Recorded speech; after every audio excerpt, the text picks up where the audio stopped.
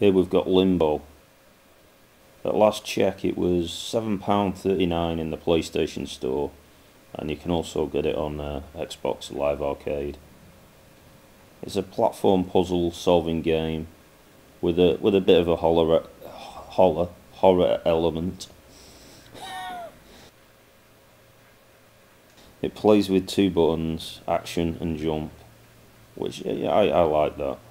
Simplifies things. Some of the deaths are truly gruesome. You'll see one towards the end. Uh, it's quite a short game, but it is it's totally sweet. It is good,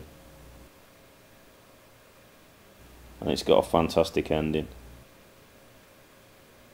It plays quite similar to, um, say, Another World, only it's more puzzle based, and I highly recommend it. Add it to your collection, it's cheap.